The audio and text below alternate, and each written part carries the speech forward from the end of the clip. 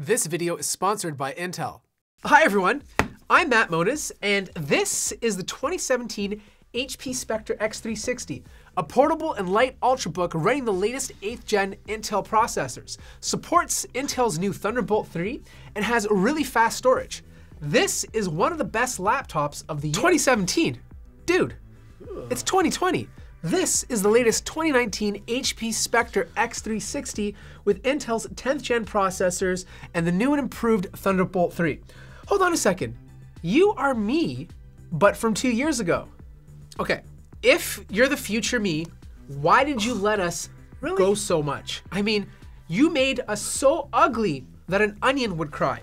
The 2017 X360 is gorgeous. It's made out of CNC aluminum, 13.6 millimeters thin, and weighs around 2.78 pounds, making it one of the lightest convertibles to buy. Well, for 2017, that's pretty sweet, but a lot has changed in the past two years. The 2019 model has had its weight reduced to 2.74 pounds, slightly increased the thickness while reducing the overall length from 217 millimeters to 194. I don't know, man. If your laptop could go on a diet, I don't understand why you couldn't too. The design changes are really not that drastic. Please, what about ports?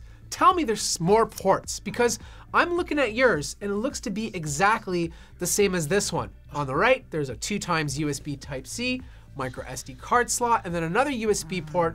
Oh, and an audio jack. Is that supposed to be innovation? Yes, port placement is the same, but the Thunderbolt 3 port is better on the 2019 model.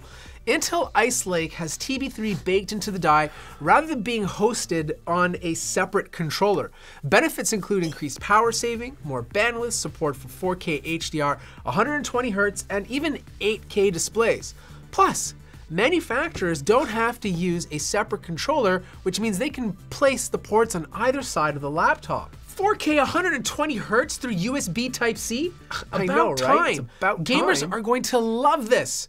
Too bad we won't because we suck at gaming. I, like, I'm the guy who plays Overwatch and always dies to a Genji reflection. Let's look under the hood. Based on what I'm seeing, yours looks a little nicer with the NVMe SSD and Wi-Fi module being upgradable. Well, the Wi-Fi model in the 2020 Spectre is not upgradable, and quite frankly, you don't ever need to. It's Wi-Fi 6, which provides insane improvements. For example, I'm able to obtain significantly faster speeds connected to a Wi-Fi 6 router in areas of my home where the internet was poor. Wow, aren't you just so cool? It has faster Wi-Fi. But the 2017 model has a faster storage drive. Yes, technically the NVMe drive in the 2017 model gets faster write times, but loses out in the read speeds. The 2020 model comes with the one terabyte instead of 512 gigabytes. Intel's Optane offers similar performance compared to some NVMe drives but at a lower price point. I'd rather have the faster read speeds, slightly slower writes, but double the storage, wouldn't you? Yeah, double the storage to match our future double chin. Uh, how did battery life go? Like, that has to be improved. Not that I'm complaining, like I'm getting 13 hours of use with Intel's 8th gen processors, which brought huge efficiencies. And I mean like 13 hours of productivity before needing to charge. Wow, that's pretty impressive. Even though the 2020 model has the same 60 watt hour battery, I'm only able to net 10 hours of use. This could be because Intel Ice Lake is brand new and the optimizations are not there yet. I'm expecting this to get better over time. But come on, 10 hours? I mean, that's still an entire day. I'd rather lose a little battery but gain performance and efficiencies in other Performance? areas. How's that even hmm. possible? The 10th gen Intel processor has lower clock speeds and the same amount of cores. Same amount of cores, but Ice Lake has a new CPU design called Sunny Cove that delivers an 18% IPC improvement over Skylake. Like, look how much faster compiling Mozilla Firefox is. It took 1 hour and 46 minutes on the 2017 Spectre compared to 1 hour and 13 minutes. That's a 30% improvement. Not bad. Not bad. How about GPU performance? Please tell me they improved it because the 2017 model is using the Intel UHD 620 and it's weak sauce. Well, I'm glad you asked because it's much better with the 2019 model. The move to Iris Plus graphics dramatically increases the performance. Sure, it's not going to replace a gaming laptop or become your 4K video editing machine.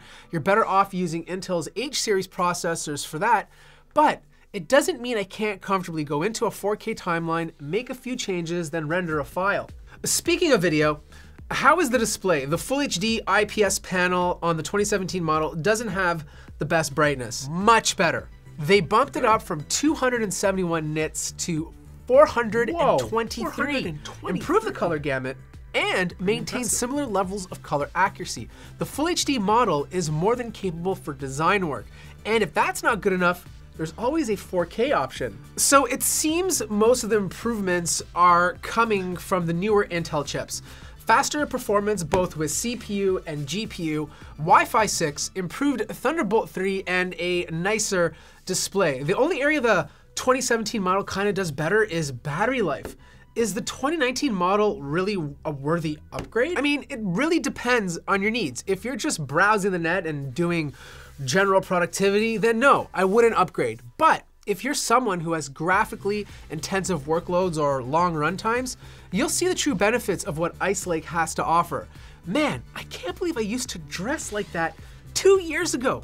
No wonder Excuse girls me? wouldn't talk to me. Dress like you this? look like This you is like hospital the best way dress. Like, look at Oh, you. Disgusting. Look at you. Like seriously, The fact that I even at you. You look look, like like, a I'm balding, wearing that overweight, I mean, old There's a reason man. why no, no one one wants to talk to, to us just- anymore because you you're just like a completely little. let us go Ew, I don't even know who disregarding you us are. for our health. What are you shouldn't doing? Just munching on How burgers? How I last make this far in life? Like, it's ridiculous.